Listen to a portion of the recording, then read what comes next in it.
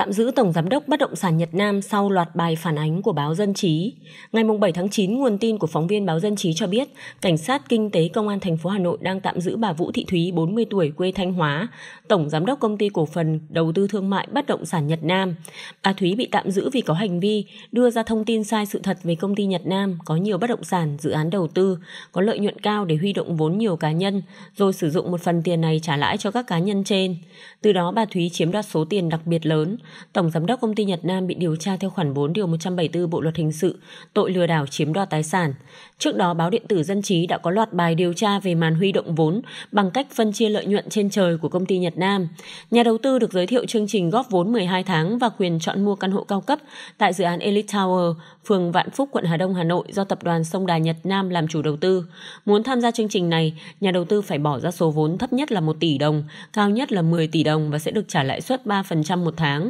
cộng quyền chọn mua căn hộ tại dự án này. Nếu nhà đầu tư bỏ ra 5 tỷ đồng, mỗi tháng nhận được 150 triệu đồng tiền lãi, sau 12 tháng sẽ nhận được 1,8 tỷ đồng tiền lãi. Căn hộ cao cấp có giá từ 5 tỷ đồng chỉ còn 3,2 tỷ đồng. Sau khi trừ tiền lãi đã nhận,